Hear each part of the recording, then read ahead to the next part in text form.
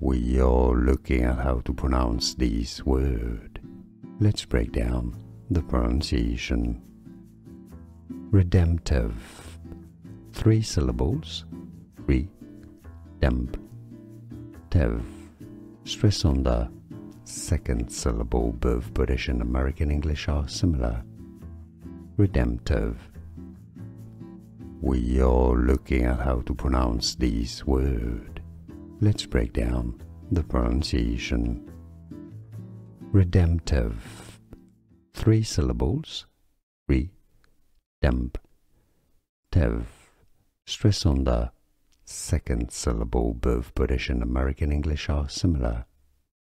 Redemptive.